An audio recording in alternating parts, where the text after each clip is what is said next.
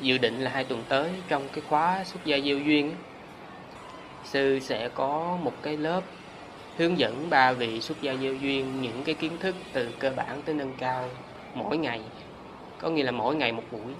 Thì nếu như mà những vị mới mà cần có nhu cầu mà nghe lại đó, có nhu cầu học hỏi những cái kiến thức cơ bản thì quý vị có thể thu xếp được. Thì đó là trong hai tuần tới. Và cái lớp học chủ nhật thì vẫn không có gì thay đổi. Và ngày hôm nay thì chúng ta sẽ đi tiếp một cái bài tiếp theo.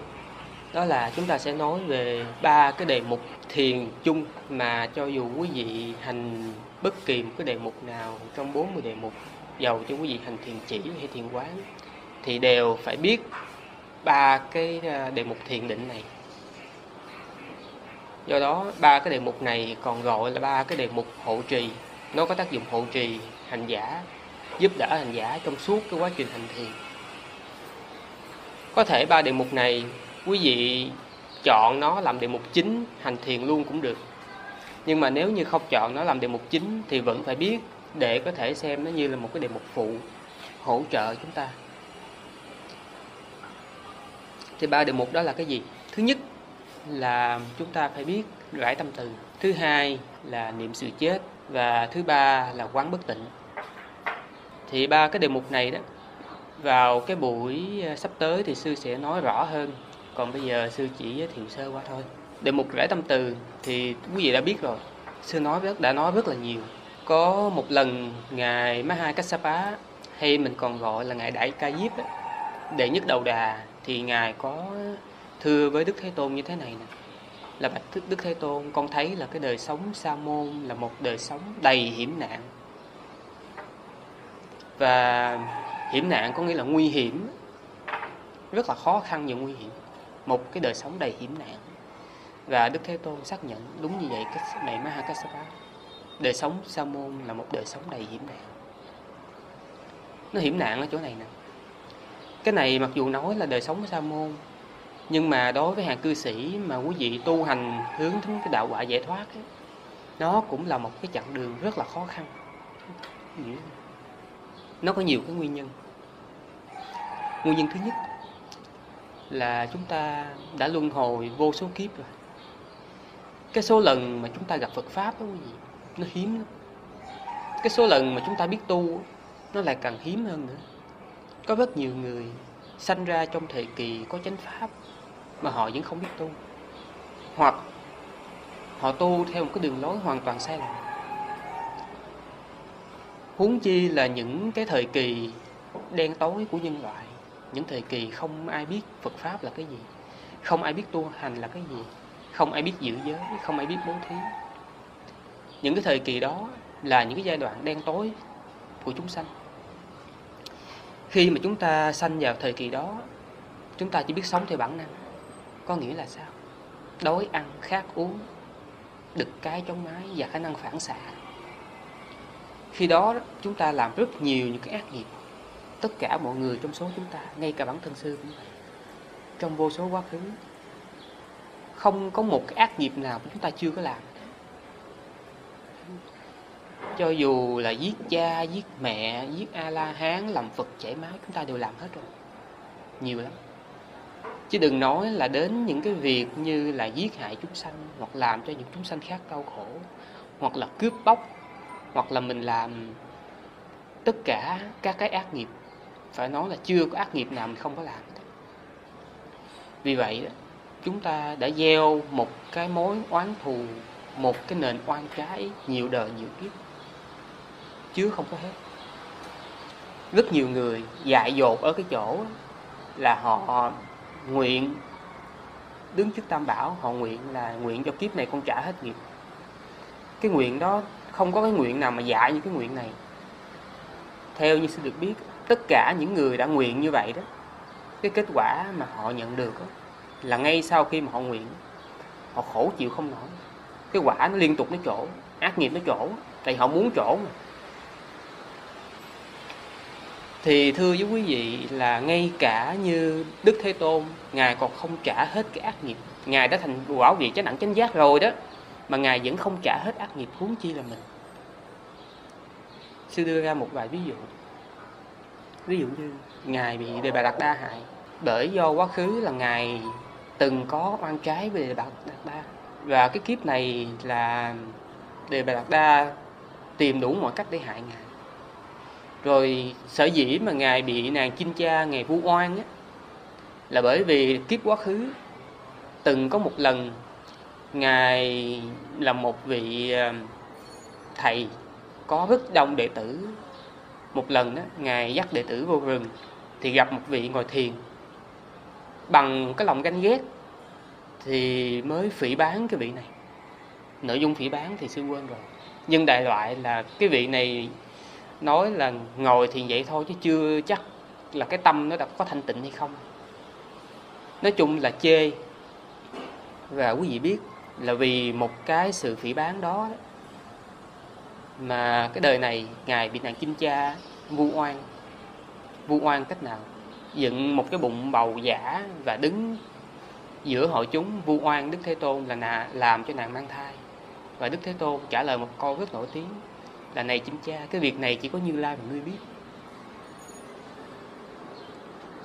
Không có một ai có thể giải oan hết và cuối cùng do đế thích nóng ruột, cho nên là làm cho cái dây mà cột cái bụng bầu giả của nàng chinh cha nó rớt ra, thì người ta mới biết, mới giải oan cho đức phật.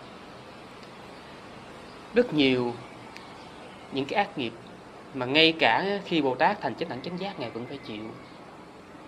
Hoặc là đến cuối đời đó đức thế tôn bị cái bệnh gọi là bệnh kiết lỵ coi như là thượng thổ mà hạ tả đó. Bị bệnh kiết lỵ cũng do cái nghiệp quá khứ là ngài từng có lần ngài là một vị thầy thuốc mà ngài hút thuốc làm sao đó mà người ta bị kiết lỵ người ta chết. Do cái ác nghiệp đó mà bây giờ thành Phật rồi đó vào cái lúc cuối cùng ngài vẫn bị cái bệnh này để ngài bị hành hạ.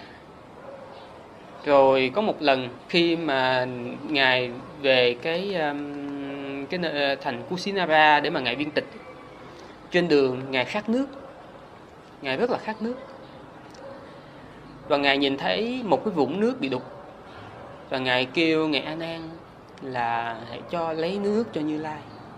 Và ngài a nan ngài từ chối bởi vì cái vũng nước đó quá đục rồi.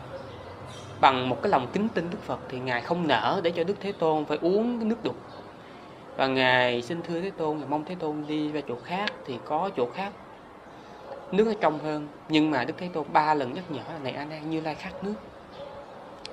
Và cuối cùng khi mà ngài a nan ngậm ngùi để cái bát đặt xuống dưới cái dòng cái dũng nước đục đó, đó nhờ cái phước ba la mật của đức thế tôn nước ngay lập tức nó trở nên trong vắt. Và ngài a nan múc nước lên dâng cho đức thế tôn.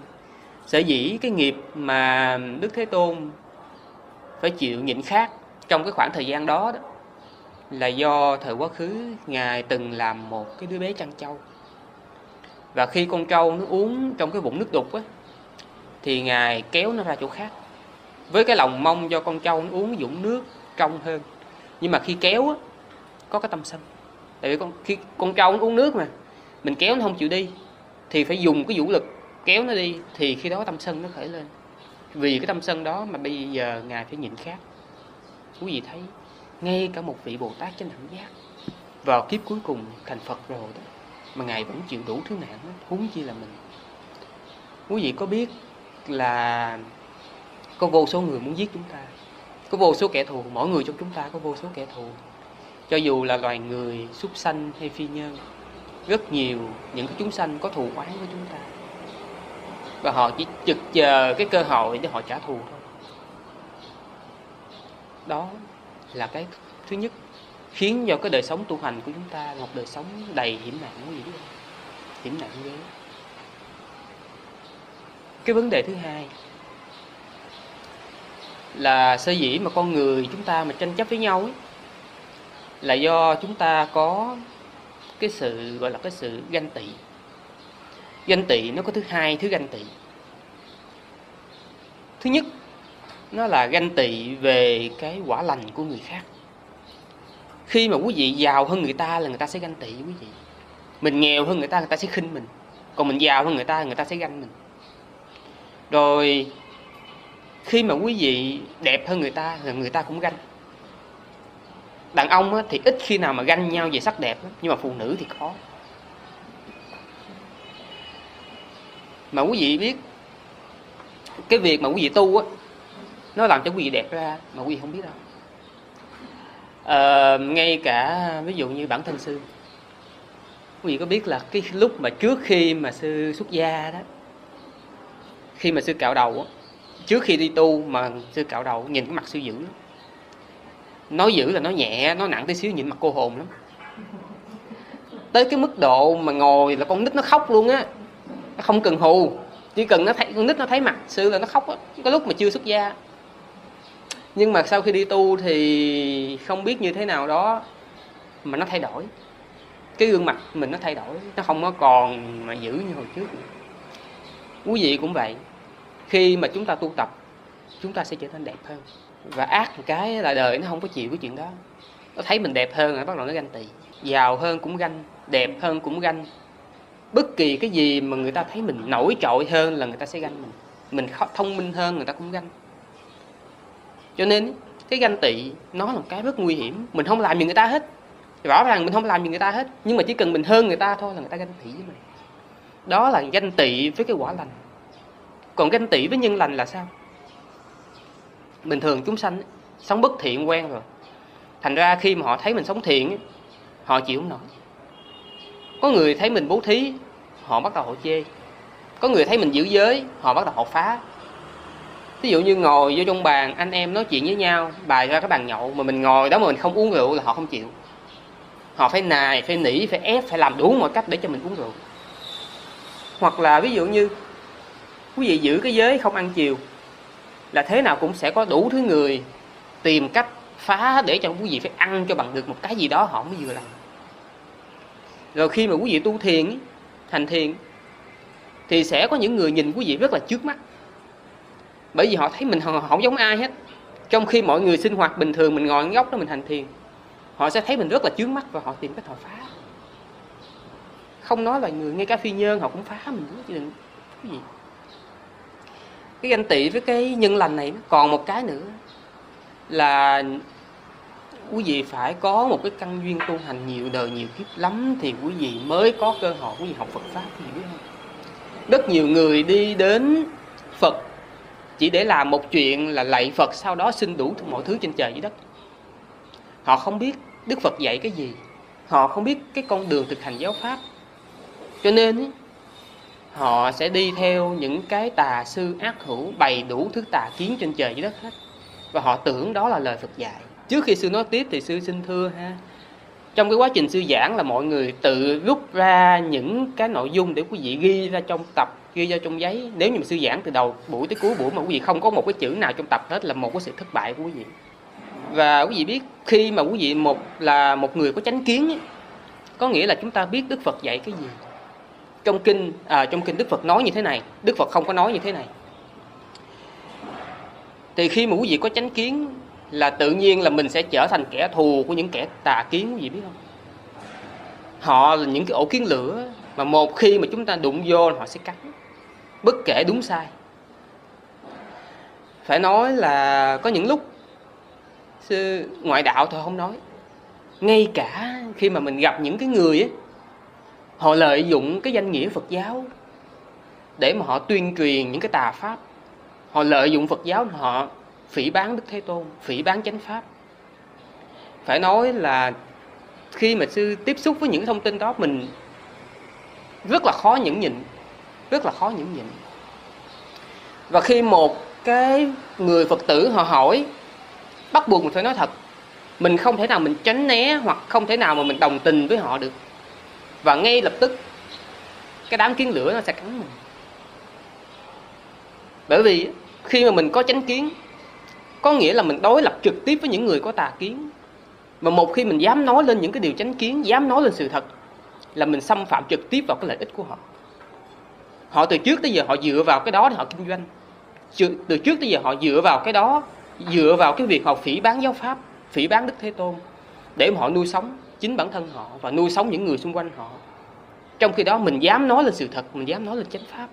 Có nghĩa là mình đã xung đột trực tiếp lợi ích đối với họ và họ sẽ trả thù. Do đó, cái đời sống của một vị sa môn đời sống của những người tu hành là một đời sống khổ nạn. Khi mà chúng ta có vô số những cái kẻ thù như vậy đó, thì chúng ta bắt buộc phải học cách vẽ tâm từ. Bởi vì nếu như quý vị không có tâm từ, thì chúng ta sẽ đối mặt với vô số kẻ thù. Một trong số những cái lợi ích của người có từ tâm, đó là người có từ tâm họ sẽ không có kẻ thù. Người có từ tâm sẽ được loài người yêu mến người có từ tâm sẽ được những loài súc sanh yêu mến. Người có từ tâm sẽ được chư thiên và phi nhân yêu mến.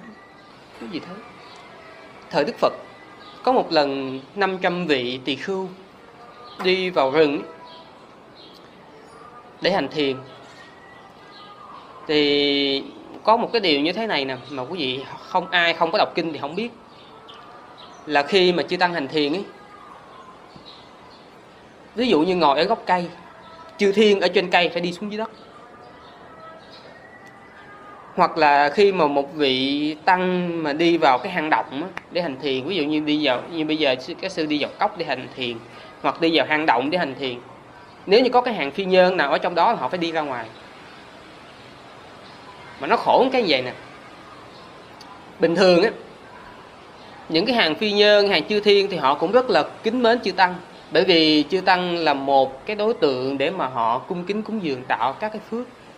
Nhưng mà khi mà mình làm phiền họ thì nó lại là một vấn đề khác nữa. Không lẽ bây giờ người ta kính mình là một chuyện, nhưng mà mỗi lần mà mình ngồi, mình hành thiền ở dưới gốc cây, hoặc mình vào một cái ngôi nhà mà vào một cái chú xứ nào đó, họ phải đi ra ngoài, họ phải đi xuống đất. Họ không có ở yên được, họ phải đi ra chỗ khác để nhường chỗ lại cho mình.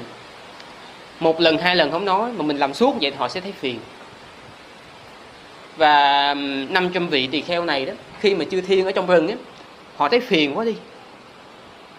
Vì đâu mà mỗi lần mà chư tăng đi ngang qua, họ phải đi xuống, phải đi ra chỗ khác. Họ thấy quá phiền. Và họ bắt đầu họ đuổi. Đuổi bằng cách nào? Họ tạo ra đủ thứ hình ảnh, đủ thứ âm thanh để họ dọa dọa cho những vị này sợ mà bỏ đi thì um, ngay cả bây giờ trong cốc cái dãy cốc đó, đó thì cũng có một số phòng. Theo lời đồn thôi quý vị phòng ở đây một số phòng. Coi như là chưa tăng không ở lâu được. Ở lâu là không biết bằng cách này cách kia là bị đuổi ra ngoài.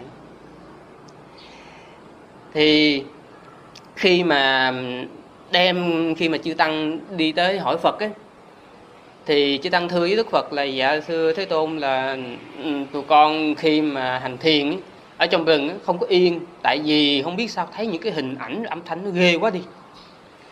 Mà quý vị khi mà quý vị hành thiền đôi lúc là quý vị cũng sẽ gặp những cái trường hợp này sẽ gặp những một số những cái trường hợp quý vị bị phá.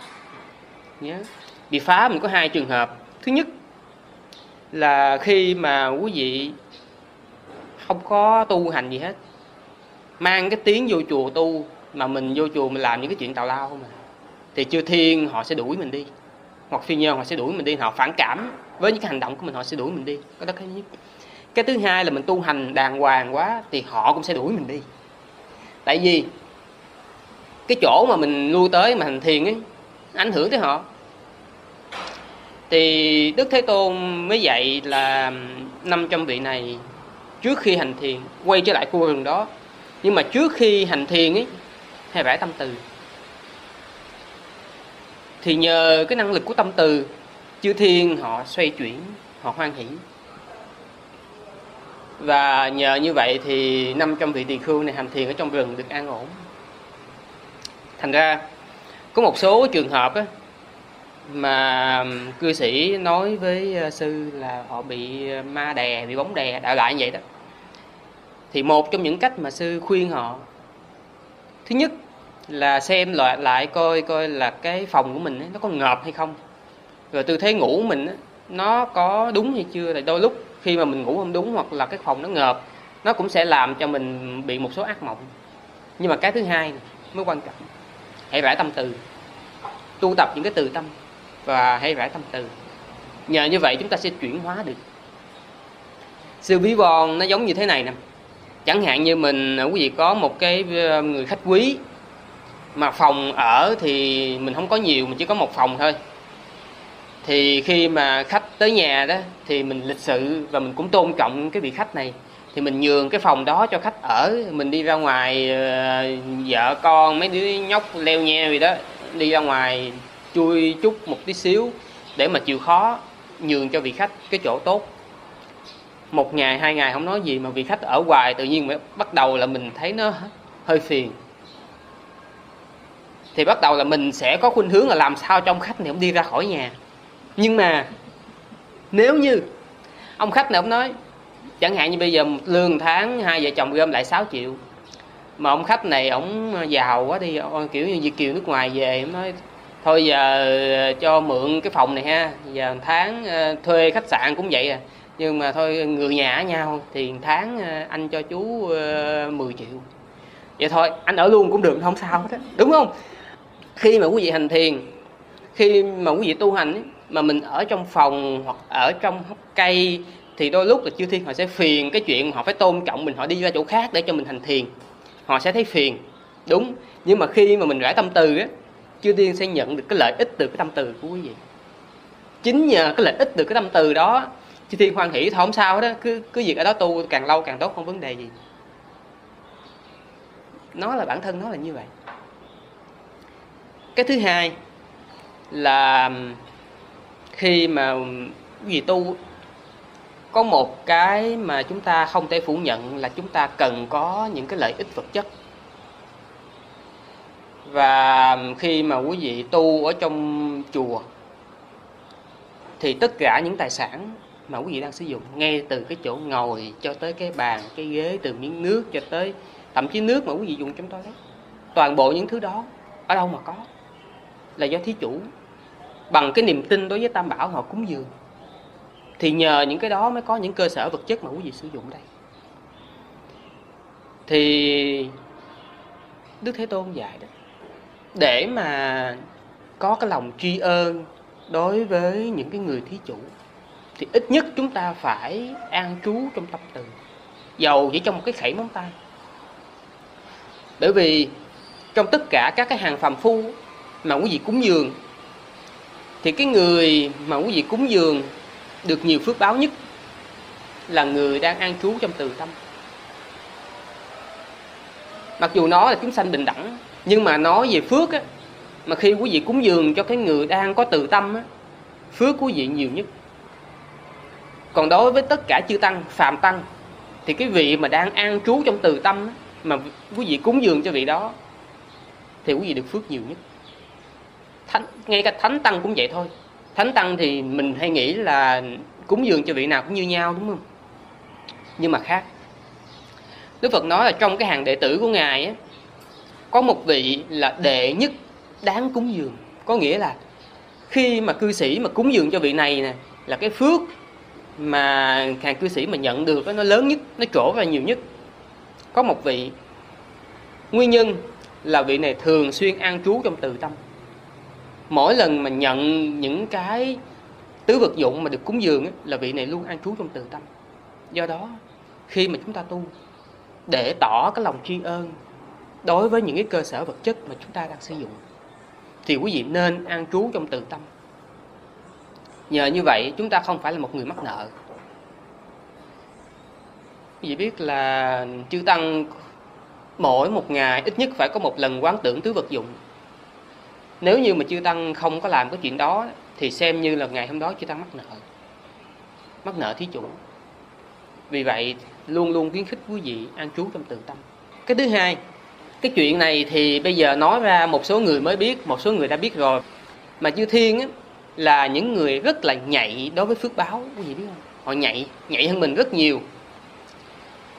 Ờ, cho nên ấy, khi mà họ hộ độ khi mà họ cúng dường họ sẽ ưu tiên cho cái người mà khi họ cúng dường họ được hưởng nhiều lợi ích nhất. Và đương nhiên cái người đó là những người có từ tâm. Ngay cả quý vị phật tử cũng vậy thôi đi vô chùa hoặc ở ngoài đời sẽ thấy có những người tự nhiên mình nhìn họ cái gương mặt họ rất là dễ thương ở gần bên họ mình sẽ thấy mình thoải mái. Và nếu như mà quý vị có cái lòng muốn cúng dường, sẽ ưu tiên cho vị đó nhiều hơn là cái vị mình nhìn cái mặt lúc nào cũng nhăn nhó, nhìn thấy ghét. Cho nên, khi mà trong cái quá trình tu tập, muốn cho cái điều kiện tu tập của quý vị mà được tốt nhất, thì vẫn nên ăn trú trong từ tâm. Lợi ích thứ ba của người mà tu tập từ tâm nó giúp cho cái tâm của mình nó bớt lăng xăng nó bắt đầu là nó yên tĩnh lại. Sư đã hướng dẫn trong thời gian qua sư đã hướng dẫn quý vị tu tập cái tâm từ rồi. Với những ai mà chưa sư chưa hướng dẫn á, hoặc là quý vị chưa có biết thì um, chủ nhật đầu tháng ha, ráng có mặt. Cái lúc đó là cái lúc mà sư sẽ hướng dẫn quý vị. Còn bây giờ thì không phải lúc. Đối với những ai mà tu tập từ tâm á, nhất là những lúc mà quý vị mất ngủ á, quý vị sẽ thấy là khi quý vị vẽ tâm từ cái tâm của quý vị tự nhiên là nó bình thản tự nhiên quý vị sẽ thấy được cái sự an lạc trong cái tâm cái tâm của mình. Nó không còn lăng xăng nữa. Nó giống như là một cái mặt hồ nó, nó yên tĩnh nó không còn căng thẳng. Nhờ như vậy đó mà quý vị tu tập bất kỳ một cái đề mục thiền chỉ nào hoặc cho dù là quý vị tu tập thiền quán thì vẫn dễ tu hơn đối với người không có đề mục từ tâm thì cái người mà ứng có cái đề mục từ tâm á, họ rải tâm từ trước khi bắt đầu bất kỳ một cái đề mục nào khác họ sẽ dễ hành thiền hơn. Đó là tác dụng của tâm từ. Tiếp theo là một cái đề mục nữa mà quý vị cần phải biết đó là đề mục niệm sự chết.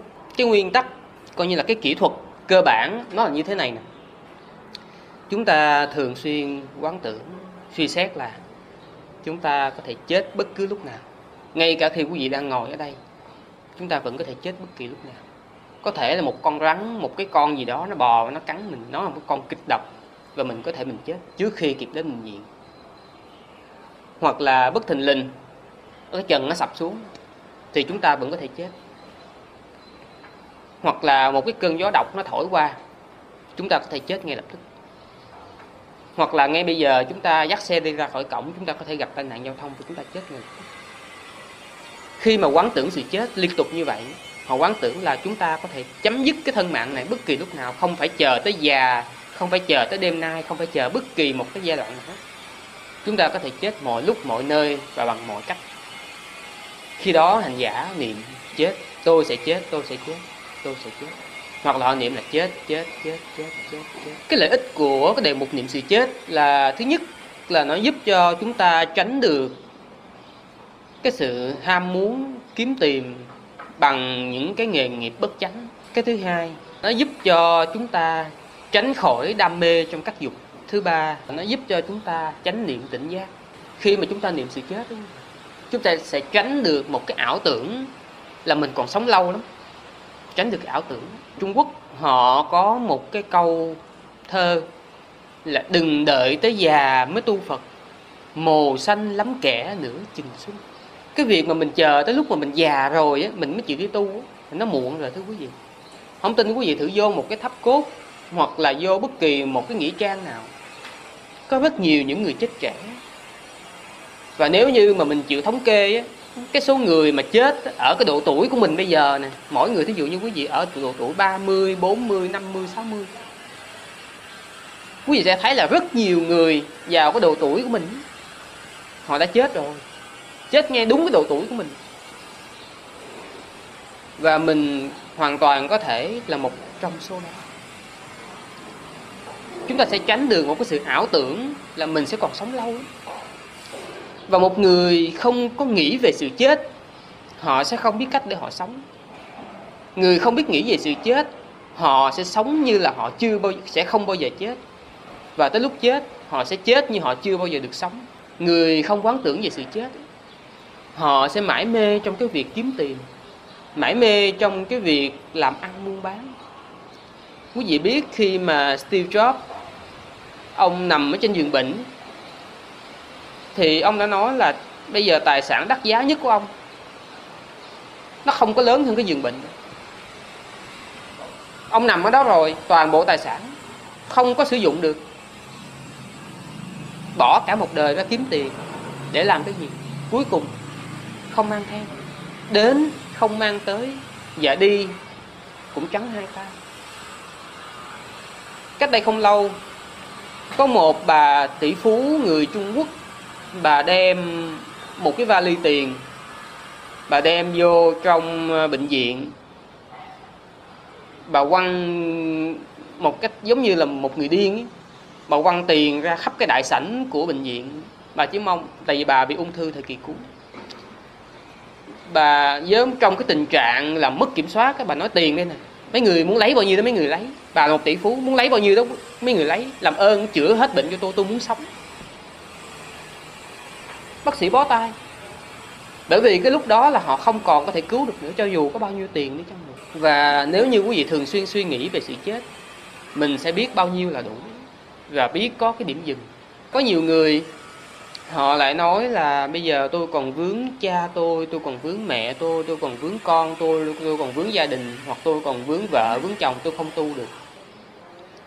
Thì đối với người mà thường xuyên quán tưởng về sự chết, họ sẽ chấm dứt được cái sự luyến ái trong tình cảm. Bởi vì sao? Giả sử như ngay bây giờ mình chết, người thân sẽ đau buồn, chắc chắn họ sẽ đau buồn. Nhưng mà nó một sự thật khi mà sư dự những đám tang khi mà một người vợ hoặc một người chồng chết đi, cái người bạn đời ước gì họ có thể chết chung được là họ cũng chết rồi. Nếu mà cái chết mà nó không trái đạo, cái chết mà nó dễ, họ đã chết rồi. Mà tại vì chẳng qua là cái đám tang họ gắn gượng để họ tổ chức thôi. Đau khổ lắm quý vị. Nhưng mà cái đau đó đó, một tuần sau nó sẽ khác. Cúng thất, từng cái thất một, thất thứ nhất, thất thứ hai tới thất thứ bảy, mỗi thất cái đau nó bắt đầu nó khác rồi và cho tới giáp năm, cái đau nó không còn như là cái lúc mà người vợ, người chồng họ mới chết nữa. Cho tới những cái năm sau, thì họ trở về cuộc sống bình thường. Chẳng qua là nếu như mà có nhắc lại cái người bạn đời cũ thì họ sẽ có đau buồn, họ sẽ vẫn có nhung nhớ. Và sư đã gặp một vài người bạn đời của họ chết. Khi mà mới chết, họ đau như chết đi sống lại. Trong một đêm thôi đậu tóc của họ bạc trắng luôn, quý vị biết không? Từ một người tóc đen, mà chỉ trong một đêm thôi, tóc họ bạc trắng luôn vậy mà vài năm sau họ tái giá. Cái chuyện đó là cái chuyện hết sức bình thường. Thành ra đó, mình cứ nghĩ là vợ mình, chồng mình thương mình lắm. Sư không có cái ý mà mình, mà sư chia rẽ ha, nhưng mà quý vị phải biết một điều như thế này nè. Chết là một chuyện, nhưng mà cái người còn sống họ vẫn phải sống tiếp họ vẫn phải tiếp tục cuộc sống của mình, chứ không ai mà họ buồn hoài đó họ phải vẫn phải tiếp tục họ sống tiếp cuộc đời của họ. Và trong cuộc đời của họ thì chắc chắn họ sẽ gặp một cái người vợ, người chồng khác trong quá khứ. Đâu phải là mình chỉ có một vợ, một chồng đâu. Đời này thì đúng là như vậy, nhưng mà đời trước, rồi khi mà gặp nhau nhân duyên, nó hợp lại là tiếp tục một cuộc sống mới vậy thôi. Mà chúng ta lại không biết một chuyện là giả sử như bây giờ bản thân sư 30 tuổi. Thì 30 năm trước, có một người sẵn sàng chết vì mình. Nuôi cho mình từng miếng ăn, từng giấc ngủ, chăm lo cho mình, vợ mình mà lo cho mình không khác gì mẹ. Rồi có thể là họ săn sóc, họ yêu thương. Coi như là nếu như mà mình có chết đi, họ sẵn sàng họ chết theo với mình. Nhưng mà 30 năm sau, quên sạch không có nhớ những cái người kiếp trước hết á. Cái người đời trước mình không nhớ gì hết trơn. Và xin lỗi nha, tôi yêu người khác. Cái chuyện là chuyện hết sức bình thường. Đó là cái sự khủng khiếp của dòng luân hồi. Khi mỗi vị nghĩ về cái sự chết, mình sẽ bỏ đi cái sự dính mắc về mặt tình cảm. Sư nói ở đây không phải có nghĩa là sư chia lìa những cái gia đình của quý vị. Nhưng mà sự thật là nếu như mà mình chết rồi đó mọi người sẽ khác. Bây giờ chúng ta còn sống thì chúng ta phải có trách nhiệm với gia đình. Đó là chuyện đương nhiên, phải có trách nhiệm. Nhưng mà phải hiểu là cái gì rồi nó cũng khác khi mà một khi mình chết đi. Nếu như mà chúng ta nghĩ về cái chết, thì một trong những điều mà chúng ta thường quán tưởng đó là gì? Khi mà chúng ta chết rồi vào cái giờ phút cận tử. Giả sử như bây giờ chúng ta chết. Giả sử như bây giờ chúng ta chết. Những cái việc mà mình làm ấy, mình có ăn năn có hối hận hay không? Có cảm thấy có lỗi với chính bản thân mình hay không? Phải tự suy tư như vậy. Mình có cắn rứt lương tâm đối với chính mình. Cái thứ hai là những cái việc mình làm nếu như mà mình gặp thầy bạn của mình nếu như mình gặp những cái bạn đồng tu nếu mình gặp sư phụ thì mình có cảm thấy có lỗi với họ hay không? Vì những cái việc mà mình đã làm giả sử như sau khi mình chết rồi đó những cái việc hồi trước tới giờ mình giấu nó bung ra hết. Ai cũng biết hết. Thì giả sử khi cái chuyện đó xảy ra đó mình có cảm thấy là mình hổ thẹn không? Có nhiều người thưa quý vị à, tại gia cư sĩ thôi Ờ, họ nói như thế này nè.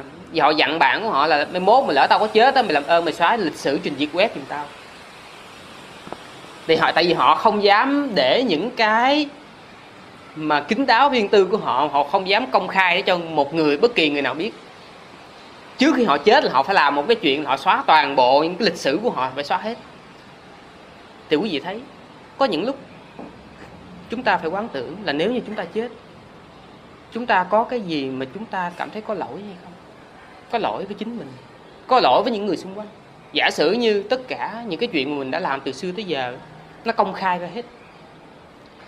Và cái điều cuối cùng quan trọng hơn là giả sử như ngay bây giờ mình chết đi nè, mình có lỗi với đạo hay không? Có lỗi với chánh pháp hay không? Mang tiếng là một người học phật, mang tiếng là một người con phật, có nghiên cứu phật pháp, có tu tập mà bây giờ mình chết rồi đó mà mình không biết mình đi lên hay đi xuống thì thật sự nó bị ai lắm thưa quý vị. Rõ ràng nếu mà mình chết mà mình không biết mình đi lên hay đi xuống ấy, là mình hoàn toàn có lỗi với chánh pháp có lỗi với đức thế tôn. Bởi vì sao? Đức phật đã dạy hết sức rõ ràng con đường nào đi xuống dưới địa ngục ngạ quỷ súc sanh con đường nào dẫn tới cõi người cõi trời và niết bàn. Đức phật đã dạy hết rồi vậy mà mình sống như thế nào đó mình tu như thế nào đó mà nếu như ngay bây giờ mình chết mà mình không chắc mình đi đâu hết thì rõ ràng là mình có lỗi với chánh pháp. Vì vậy đó, trong cái lần trước khi mà lớp chỉ có 5 người thôi thì sư có nói một điều là chúng ta phải có những cái giây phút không sợ chết thưa quý vị. Phải có những giây phút không sợ chết. Giây phút đó là cái gì? Như có lần khi mà sư đi kinh hành để mà sư suy tư về giáo pháp suy tư về những cái mà sư sẽ thuyết giảng cho quý vị. Sư có thói quen đó trước khi thuyết giảng cho quý vị sư phải đi kinh hành thì lúc đó, đó trời bắt đầu gió nổi giông gió lên. Mặc dù không có mưa nhưng mà nổi gió thì khi mà đi như vậy đó, ở trong tăng xá nó có những cây cành nó rất là lớn. Và tự nhiên suy nghĩ là giả sử mình đang đi cái, cái một cái cành cây nó rớt xuống và mình chết ngay tại chỗ hoặc là những lúc mình đi xét đánh chết thì sao? Thì ngay lúc đó đó, sư mới nghĩ là ở nhưng mà bây giờ chết không sao hết. Tại vì sao? Hiện tại bây giờ cái mà mình đang suy tư, đó là suy tư về chánh pháp. Cái tâm của mình hiện tại đang là tâm thiện. Và nếu như mình có chết ngay lập tức, nhờ cái tâm thiện đó, mình đi lên. Thành ra lúc đó không sẽ chết chứ gì cái những cái giây phút mà quý vị suy tư về chánh pháp, những giây phút đó là những giây phút quý vị không sợ chết. Rồi còn gì nữa? Những giây phút mà quý vị chánh niệm, tỉnh giác, những giây phút mà quý vị hành thiền ấy, sư nói đang hành thiền chứ không phải những lúc mà mình ngồi, mang tiếng là ngồi thiền mà cái đầu óc mình nó nhảy nhảy chỗ khác thì sư không tính. Nhưng mà cái giây phút mà quý vị hành thiền, đó cũng là giây phút quý vị không sợ chết. Giả sử như bây giờ mà quý vị đang học pháp đây nè, hoặc là quý vị đang ngồi thiền đây nè, mà trời có sập xuống, hoặc chẳng hạn như là cái đà mà nó rớt xuống mà nó đè quý vị chết ngay tại chỗ á, mình cũng không lo tại sao? Quý vị, cái tâm quý vị đang là cái tâm thiện. Mà cái tâm cận tử là tâm thiện ấy, đảm bảo là đi lên. Sư chưa bao giờ đọc thấy trong một bài kinh nào cái người mà tâm cận tử, tâm thiện lại đi xuống. Cho nên chúng ta phải có những giây phút không sợ chết. Đó là những cái lợi ích mà khi quý vị quán tưởng về cái chết. Một người không quán tưởng về cái chết, họ sẽ không biết cách để họ sống. Và còn một cái nữa khi mà mình nghĩ về cái việc mà mình có lỗi với đạo hay không, có khi mình phải nghĩ là bây giờ nè, mình còn sống, mình bày vẽ ra những cái trò mà mình dựa vào Phật pháp. Mình bày vẽ ra một cái pháp môn tào lao nào đó. Mình bày vẽ ra một cái trò nào đó để mà mình kiếm lợi dựa trên chánh pháp. Rồi cái lúc mà mình chết rồi đó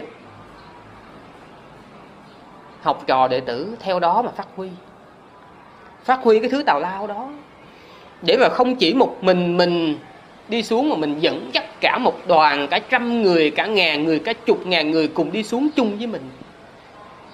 Nó có đáng gì không? Ta hại nhau rồi, ta biết không? Mình lỡ mình tạo ra một cái trò nào đó để mưu lợi cho bản thân, xa lìa chánh pháp. Để rồi sau khi chết những cái thứ tài sản đó, những thứ danh tiếng đó mình không đem được. Không đem theo được một đồng nào, một chút xíu nào hết. Mà mình đem cái gì? Đem cái ác nghiệp. Rồi mình dẫn nhau, cùng nhau đi xuống địa ngục. Đó là một cái sự bi ai, thưa quý vị. Và bản thân quý vị ngồi đây, có một chút xíu cái niềm vui mừng là quý vị gieo những cái nhân lành. Để từ từ, qua từng bài học, qua từng cái buổi giảng quý vị sẽ có được cái chánh kiến. Quý vị sẽ hiểu được đâu là đúng chánh pháp và đâu là không đúng chánh pháp. Nhờ như vậy, mình mới đi lên. Đó là cái lợi khi mà chúng ta nghĩ tưởng về sự chết. Và khi mà chúng ta nghĩ về sự chết như vậy đó, tự nhiên là mình sẽ có một cái nỗ lực để mình tinh tấn bởi vì đâu ai biết được, bây giờ ngồi ở đây, có thể sư ngồi ở đây. Nhưng mà 12 giờ đêm 1 giờ sáng, mình có thể trở thành một cái con gì đó ở dưới một cái hầm cầu chẳng hạn. Hoặc tới cái lúc mà mình mở con mắt ra, mình thấy mình nằm ở trong một cái chuồng heo là nó đã quá muộn rồi, thưa quý vị. Muộn quá. Vì vậy, nhờ suy tưởng về sự chết mà mình có cái sự chánh niệm tỉnh giác. Và đức phật đã dạy. Khi mà quý vị tập trung vào cái đề mục hành thiền, nhất là khi mà quý vị đi thiền, thì mình phải đi với cái tư thế như thế nào, đi với cái tâm trạng như thế nào? Đức phật nói là mình hãy trân trọng cái đề mục hành thiền của mình ấy nó giống như là một cái chén dầu trong tay cái anh tử tù. Mà nếu như mà anh bị dắt đi một cái dòng của ngôi thành ấy mà chỉ cần anh làm rớt ra một cái giọt dầu thôi ngay lập tức anh bị xử tử. Còn nếu như mà anh đi hết một vòng anh không làm rớt một giọt dầu nào hết thì anh được tha. Thì khi mà anh tử tù anh cầm cái chén dầu như vậy anh đi ấy, thì cho dù những cái cảnh xung quanh nó có hấp dẫn như thế nào đi chăng nữa anh cũng không dám phân tâm. Cho dù người ta có đờn ca múa hát làm bất kỳ một cái trò gì đi chăng nữa anh vẫn tập trung vào cái chén dầu của anh người tu hành cũng như vậy. Khi mà quý vị đặt mình vào cái tư thế anh tử tù cầm một cái chén dầu mà quý vị đi thiền thì tự nhiên là quý vị sẽ có cái sự tập trung vào cái đề mục quý vị hành thiền. Đó là lợi ích của việc niệm sự chết, thưa quý vị. Nhớ như cuối cùng là đề mục quán bất tịnh. Có những cái đó, cái niệm tâm từ và niệm sự chết, nó không ăn thua mà chúng ta phải quán bất tịnh bởi vì cái quán bất tịnh này nó đối trị trực tiếp đối với cái lòng tham dục chúng ta phải nhìn nhận một sự thật mà Đức Thế Tôn đã nói tới trong Tăng Chi Bộ Kinh. Ở trong cái cõi dục này đó, vì chúng ta mang cái thân loài người ở trong cõi dục, cho nên cái sự hấp dẫn nhất đối với chúng ta là cái lòng dục. Hấp dẫn nhất chúng ta là về giới tính, không có gì hấp dẫn hơn. Sư mượn một câu nói của một cái người Mỹ. Họ nói là bất kỳ một cái bộ phận nào của người nữ đều có thể trở thành biểu tượng của tình dục của nữ nhưng mà cái điều này Đức Phật đã nói từ hơn 2.500 năm trước rồi. Đức Phật nói là không có một cái hình ảnh nào hấp dẫn người đàn ông hơn cái hình ảnh của người phụ nữ. Không có một âm thanh nào hấp dẫn người đàn ông hơn âm thanh của người phụ nữ không có mùi hương nào hấp dẫn người đàn ông hơn cái mùi hương của người phụ nữ. Không có sự xúc chạm nào hấp dẫn người đàn ông hơn sự xúc chạm của người phụ nữ. Và đối với phụ nữ cũng như vậy. Có nghĩa là đối với chúng ta, cái vấn đề giới tính là một cái sự hấp dẫn, một cách tự nhiên. Bởi vì sao? Vì chúng ta mang thân loài người ở trong cái cõi dục. Nó là vấn đề về nghiệp. Chứ không phải cái vấn đề mình có muốn hay không. Cũng trong tăng chi bộ kinh, đức phật nói đó, loài người thì cái dục nó là cái hấp dẫn loài người nhất. Người ta có thể sống tới chết. Nhưng mà ngay cả khi họ chết ấy, thì cái lòng tham muốn về tính dục đối với họ nó vẫn mạnh mẽ như ngày nào. Cho dù họ có chết đi chăng nữa thì họ vẫn không ngừng ham muốn về cái vấn đề tính dục. Nó rất là mãnh liệt thưa quý vị. Và nhất là khi mà quý vị hành thiền ấy, cái này nó sẽ xuất hiện bởi vì chúng ta mang thân nhân loại và chúng ta sanh ra ở trong cái cõi dục. Và cái cõi loài người này đó, thì cái vấn đề này nó là cái điểm đặc trưng của cõi dục. Đặc trưng rồi cho nên, cho dù mình có nói như thế nào đi chăng nữa, thì khi quý vị hành thiền, quý vị sẽ phải đối mặt với việc này. Đức phật đã dùng rất nhiều cách để mà chúng ta đối trị với cái lòng tham dục. Rất nhiều cách. Một trong số những cách đó đó là chúng ta phải biết quán bất tịnh. Thì trong cái quyển mà mở rộng cửa tâm hồn tâm mình ở trong của ngài Ajahn Brahm thì hình như là lần trước sư có phát cho quý vị. Trong đó có một câu chuyện là ngài Ajahn Cha ngài nói với một bằng cái năng lực ngài đọc được tâm của một vị sa di ngài nói là cái vị sa di này đang nhớ tới cái cô bạn gái cũ ở Los Angeles. Mặc dù ngài là người thái nhưng mà ngài ngài đọc được tâm của cái người vị sa di này và ngài nói là bây giờ đó thì chú uh, sư nhắn cho cái cô bạn gái cũ á gửi cho chú và nhớ quá thì kêu cổ gửi cho một cái vật mà riêng tư nhất riêng tư nhất của cô đem qua nhìn cho đỡ nhớ sa di hí hửng? Hỏi được hả sư? Dạ, được. Nhưng mà ngài nói gì nè? Cái cái mà cái viên tư nhất của cổ là gửi một cái chai phân. Rõ ràng cái chai phân là nó là viên tư nhất rồi. À, ngài nói là mỗi lần mà nhớ quá thì mở ra mà coi. Nhớ cổ quá thì mở ra mà coi. Tại vì cái mà mình cho là đẹp là xinh là để mình nhớ đó, đó nó chẳng qua là một cái túi mà đựng đầy những cái thứ đó thôi quý vị biết là khi mà quán bất tịnh nó gồm có gì? Tóc, lông, móng, răng, da, thịt, gân, xương, tủy mật đàm, tim, gan, mũ, máu, mồ hôi, phận nước tiểu. 32 thể trượt.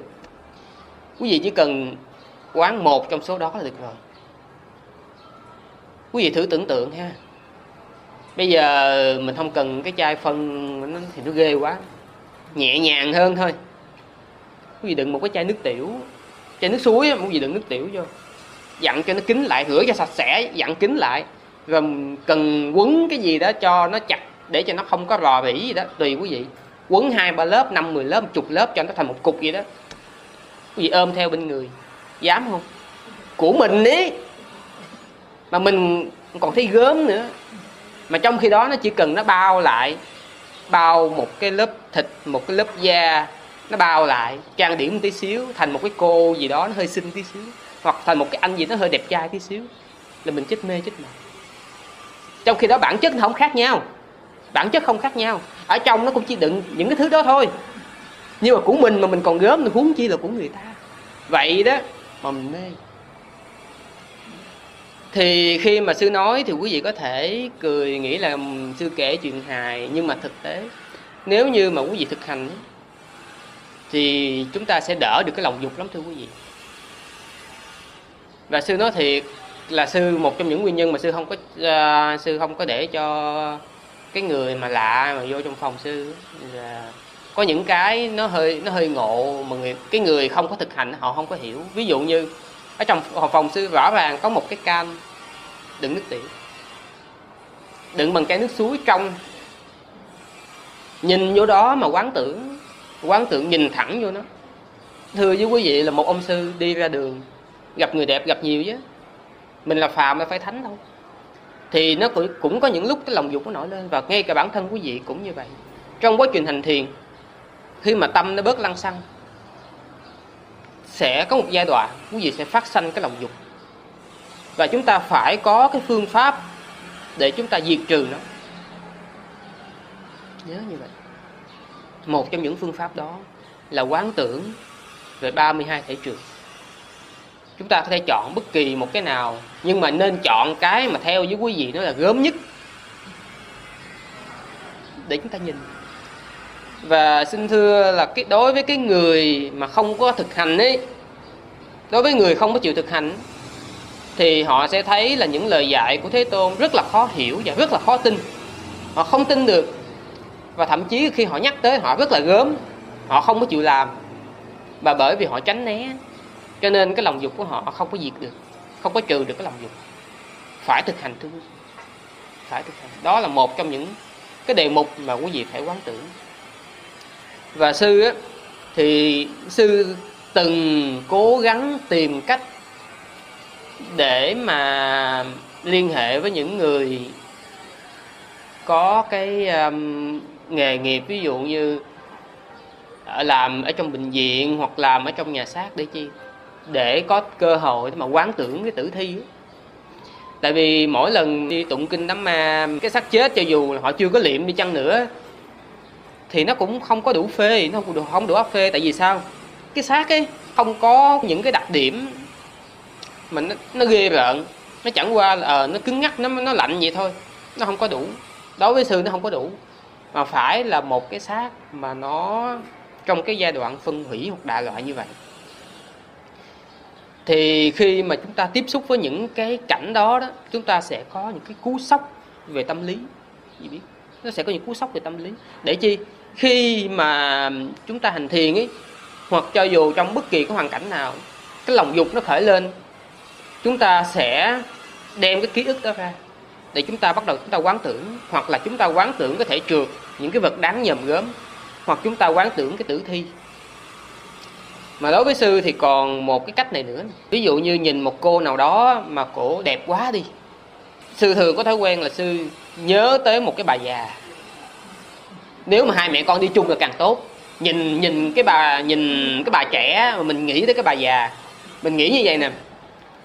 Lỡ mà mình rước cái bà này về ấy, là bắt đầu là bà này ờ, vài chục năm sau là bà cũng y chang cái bà già này. Trời không lẽ giờ mới mốt mà sống chung với cái bà già này ớn muốn chết luôn. Quý vị biết là có một lần mà sư ờ, đọc báo thấy ờ, một ờ, vợ của một người nghệ sĩ mà cái vị nghệ sĩ này nổi tiếng là trung tình.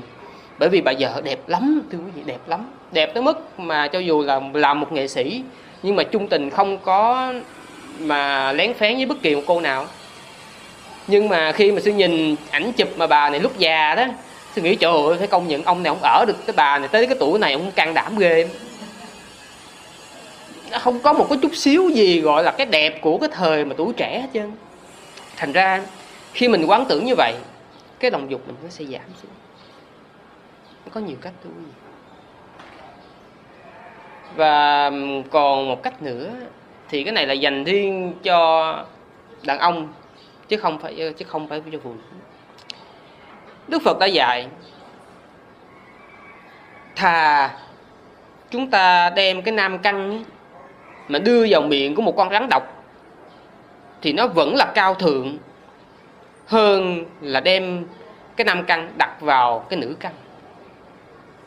Thà chúng ta đem cái nam căn đưa vào một cái hố than đang nóng đỏ vậy mà còn cao thượng hơn là dùng cái đó để quan hệ với người nữ bởi vì nếu như chúng ta đưa vào miệng con rắn độc hoặc đưa vào cái ngọn cái hố than, chúng ta sẽ đau khổ gần như chết hoặc chúng ta sẽ chết. Nhưng mà không vì như vậy mà chúng ta xuống địa ngục. Còn nếu như chúng ta quan hệ với người nữ, vì một chút xíu vui sướng nhất thời đó mà chúng ta sẽ đi địa ngục từ đời này qua kiếp khác cái này đức phật dạy riêng cho đàn ông. Nó kinh khủng lắm, thưa quý vị. Bởi vì chỉ một cái chút xíu đam mê thôi đó mà nó sẵn sàng đưa chúng ta luân hồi trong nhiều đời nhiều kiếp. Mà chắc chắn là chúng ta đã luân hồi nhiều đời nhiều kiếp rồi, cho nên chúng ta mới còn ngồi ở đây và đang ở cái loài người trong cõi dục. Chúng ta vẫn còn dướng trong cái lưới ái dục. Vì vậy, có ba cái đề mục hành thiền, bảo hộ cái tâm của chúng ta trong cái quá trình hành thiền. Tại vì có những lúc đề mục tâm từ nó không giúp được.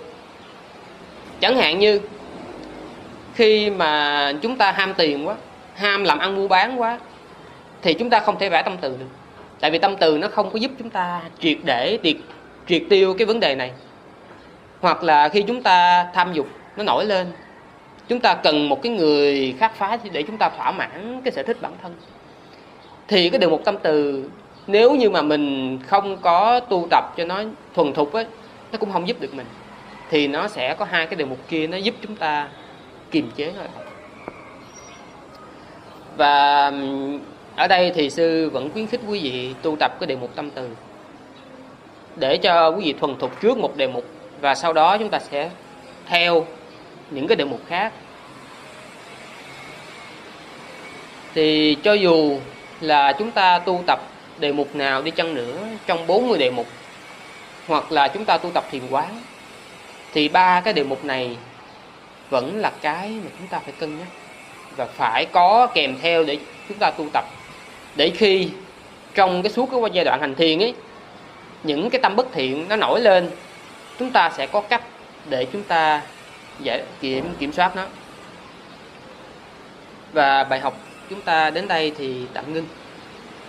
Và trong suốt cái à, quá trình chúng ta học ngày hôm nay, nếu như có những cái lý thuyết, có những cái vấn đề nào giúp quý vị trong cái con đường tu tập hướng đến cái đạo quả giải thoát, thì đó hoàn toàn nhờ vào trí tuệ của Đức Phật và của chư hàng thánh tăng. Và nếu như có một cái sai lầm nào trong nội dung cũng như cách trình bày, thì đó là sai sót của cá nhân sư và xin chia đều phần phước này đến tất cả chúng sanh. Mong cho tất cả chúng sanh được thọ hưởng tùy ý sau khi thọ hưởng rồi. Được thoát khỏi những điều thống khổ, được kết quả làm người, quả trời cùng quả niết bàn. Nam mô bút tha giá. Nam mô tham ma giá. Akasattha cha bhummattha divanagamahitika Punyantang පුඤ්ඤන්තං අනුමෝදිත්වා චිරං රක්ඛන්තු සාසනං ආකාසත්තා ච භුම්මත්තා දේවනගා මහීතික පුඤ්ඤන්තං අනුමෝදිත්වා චිරං රක්ඛන්තු දේශනං ආකාසත්තා ච භුම්මත්තා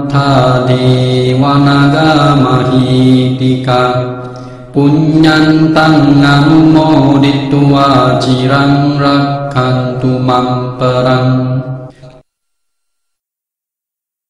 อิตาวัตเจอัมเมหิสัมปตังปุญญสัมปดัมสัพเบดีวาอันโมดันตุสัมปสัมปติสิติยาอิตาวัตเจอัมเมหิสัมปตังปุญญสัมปดัมสัพเบบุตตานุโมดันตุสัพพสัมปติสิติยา Itawata ca ammehi sambetang punya sampedang Sabe Buddha anumodantu sabba sampati sidia Itawata ca ammehi sambetang punya sampedang Sabbi satta anumodantu sabba sampati sitiya Idang me nyatinang putu sukita huntu nyatayo Idang mi yatinang hotu sukita hontu nyatayo ඉදම්මේ යතිනං හෝතු සුකිතා හොන්තු ඥාත්තයෝ ඉදං මේ පුඤ්ඤං අසවාඛයා වහං හෝතු. ඉදං මේ පුඤ්ඤං නිපානස පච්චයෝ හෝතු. මමං පුඤ්ඤාපගං සබ්බ සත්තනං දීමා සාදු සාදු සාදු